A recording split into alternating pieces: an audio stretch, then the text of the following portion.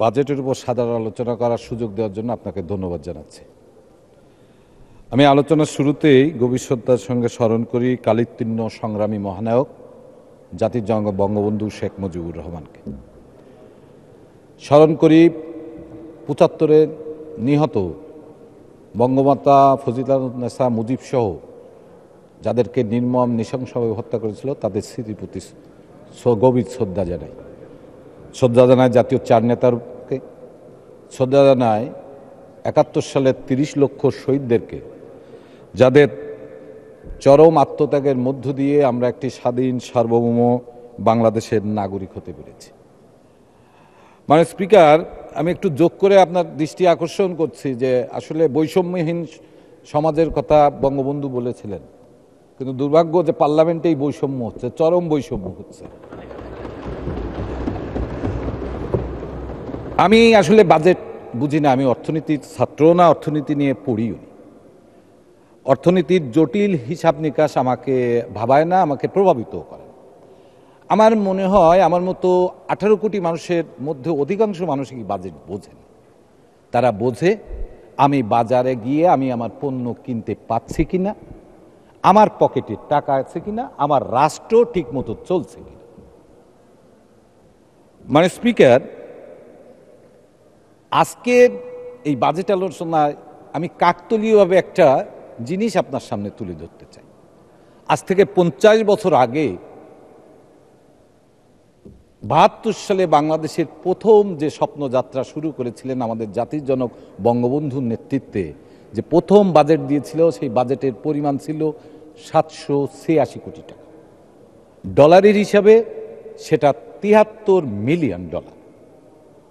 স্বাধীনতার পঞ্চাশ বছর পরে এসে আজকে সেই বাংলাদেশের বাজেট হচ্ছে সাত লক্ষ সাতানব্বই হাজার টাকা, অর্থাৎ তিহাত্তর বিলিয়ন ডলার।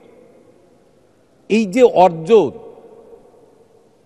আজকের যে তিরিশ লক্ষ শহীদের রক্তবিথা যায়নি, আজকের যে বঙ্গবন্ধু সোনার বাংলার গড়তে যাওয়ার যে স্বপ্ন বাস্তবায়নের দৌড়গাড়ায় পৌঁছে গিয়েছি তারই কিন্তু প্রতিফলন এই বাজেট হয়েছে।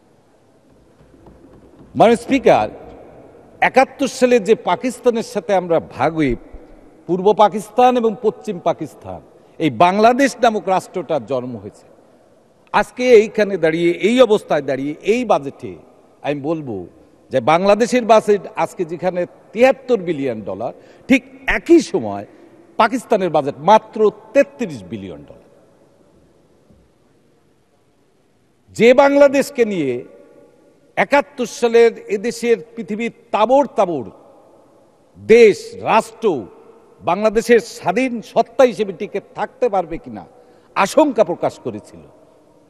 আমেরিকার বিখ্যাত পররাষ্ট্রমন্ত্রী হেনরি কিজিঞ্জার যে বাংলাদেশকে নিয়ে মন্তব্য করেছিল বাটনলেস বাসকে, সেই বাংলাদেশ আজকে কিন্তু বিশ্বের বিস্ময়। সেই বাংলাদেশ পৃথিবীর সবচেয়ে দ্রুত বর্ধনশীল পাঁচটি অর্থনীতির দেশের মধ্যে বাংলাদেশের এটা একমাত্র সম্ভব হয়েছে জননেত্রী শেখ হাসিনার কারণে। আমি প্রথমেই বলেছি, মাননীয় স্পিকার, আমাকে যদি দুই, তিন মিনিট সময় দেন, আমি একটা বিষয় নিয়ে কথা বললেই আমি সে- বাজেট নিয়ে আমি কোনো কথা বলব না। আমি শুধু এখানে আমার খুব কষ্ট হয়, অর্থমন্ত্রী এখানে থাকে না। আমরা কাদের উদ্দেশ্যে বা অর্থ মন্ত্রণালয়ের কোনো লোকজনও থাকে কিনা আমি জানি না। আমরা কাদের উদ্দেশ্যে বাজেট নিয়ে আমাদের মতামত দিব সেটাও আমি বলতে পারি। আমি মানুষ স্পিকার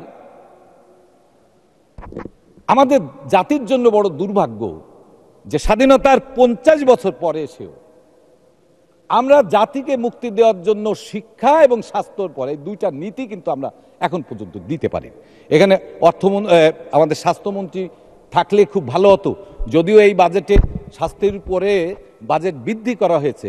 কিন্তু আমার কাছে মনে হয়েছে যে চাহিদার তুলনায় সেই বাজেট খুবই অপ্রতুল। একটা জিনিস মনে রাখতে হবে, যে আবার আপনার স্বাস্থ্যই সম্পদ। যদি আমার আমার স্বাস্থ্য যদি ঠিক না থাকে, তাহলে আমার অনেক অর্থ থাকলেও সেই অর্থের কিন্তু কিন্তু মূল্য নেই।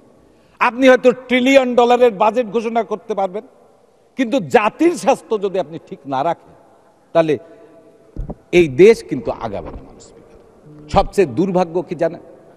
বলবেন। স্পিকার এই স্বাস্থ্য খাতের আজকের যে সমস্যা স্বাস্থ্য শিক্ষা এবং স্বাস্থ্য ব্যবস্থাপনা এই নিয়ে কিন্তু একটা উজ্জ্বল দেশপ্রেমের দৃষ্টান্ত দেখিয়েছিলেন আধুনিক মালয়েশিয়ার রূপকার মাহাতির মোহাম্মদ। উনি হার্টের রুগী ছিলেন। ডাক্তাররা তাকে পরামর্শ দিয়েছিল বিদেশে চিকিৎসা করার জন্য। মাহাতির মোহাম্মদ কিন্তু বিদেশে চিকিৎসার জন্য যায়নি। উনি মালয়েশিয়ায় হার্টের চিকিৎসার সর্বোচ্চ আধুনিক প্রযুক্তি সম্পন্ন হার্টের চিকিৎসা করার ব্যবস্থা করে প্রায় তিন বছর পরে উনি মালয়েশিয়ায় চিকিৎসা করেছিলেন। ওনাকে প্রশ্ন করা হয়েছিল, কেন আপনি বিদেশ যাননি?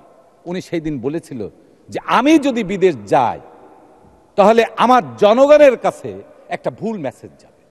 আমার জনগণের, আমার স্বাস্থ্য সেবার পরে কোনো আস্থা বিশ্বাস থাকবে কিন্তু আজকের এই সংসদে দাঁড়িয়ে আমি বলতে চাই, বাংলাদেশের কিছু মানুষ, কিছু কর্মকর্তা, কিছু কর্মচারী বা আমরাই কথায় কথায় আমরা বিদেশে চেক আপে যাই মাউন্ট এলিজাবেথের চেক আপে যায় ইউরোপ আমেরিকায় যায় এর মধ্য দিয়ে আমার দেশের স্বাস্থ্য ব্যবস্থার অনাস্থা কিন্তু জনগণের কাছে ভুল বার্তা যায় তারই ফলশ্রুতিতে আপনারা দেখেন, আজকে আমাদের পার্শ্ববর্তী রাষ্ট্র ভারতে বাংলাদেশের প্রতি বছর পাঁচ হাজার টাকা চিকিৎসার জন্য ব্যয় করতে যায়।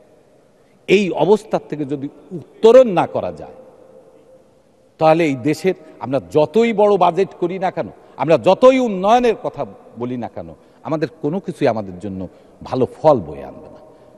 মানে স্পিকার একথা সত্য স্বীকার করতেই হবে।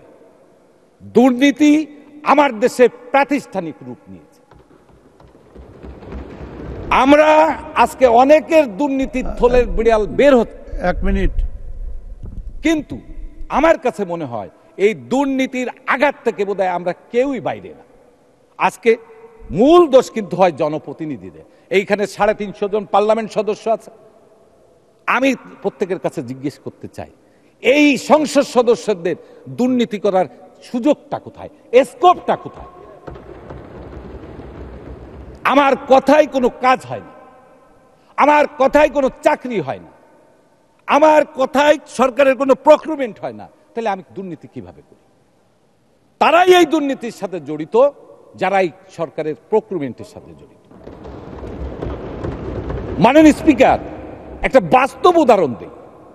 সরকারের বিভিন্ন প্রকল্পের পিডি আছে।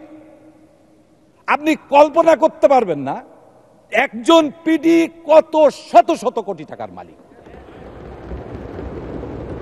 আমার কাছে মনে হয় এরা মানসিকভাবে বিকারগ্রস্ত। এদের শেষ করবেন। চিকিৎসা খুব প্রয়োজন। মাননীয় স্পিকার আমাদের সময় খুব কম। আমাদের সময় খুব কম। এই দেশটাকে যদি জাতির জনক বঙ্গবন্ধু সত্যিকারের সোনার বাংলা আমরা গড়তে না পারি তিরিশ লক্ষ মানুষ আমাদের অভিশাপ আমার দৃঢ়ভাবে বিশ্বাস, আমাদের সৌভাগ্য, এই জাতির জন্য সৌভাগ্য। এমন একজন মানুষ বাংলাদেশকে আজকে অর্থনৈতিক মুক্তি দেওয়ার যে দ্বার প্রান্তে পৌঁছেছেন, তারই সুযোগ্য কন্যা জননেত্রী শেখ হাসিনার হাত ধরেই আমরা একটি সুখী, সমৃদ্ধশালী, মানবিক বাংলাদেশ প্রতিষ্ঠিত করব আগামীর পথে। জয় বাংলা, জয় বঙ্গবন্ধু, জয় হবে জননেত্রী শেখ হাসিনা। ধন্যবাদ ধন্যবাদ, মাননীয় সদস্য, আপনাকে অসংখ্য ধন্যবাদ।